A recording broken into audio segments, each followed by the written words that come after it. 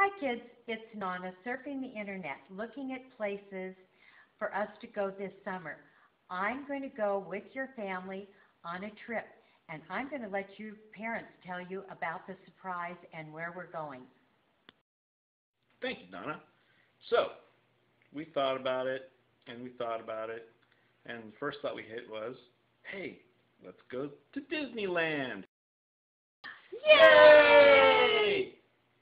But no, no, we were just there like last year, and we go all the time.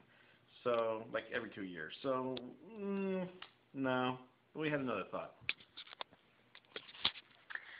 Then we were thinking, let's go big and let's go to Hawaii. Yeah! Ah, no, it's too expensive. Hmm, bummer.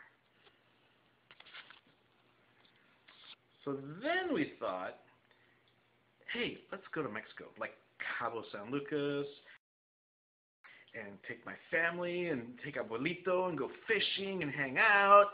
Yeah! Uh, they didn't want to go. Abuelito's already going fishing, and my my mom had just got back from Mexico, so they weren't all that interested in going to Mexico. Bummer.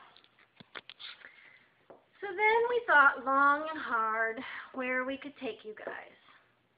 And we came up with the idea of going to the Kennedy Space Center in Florida.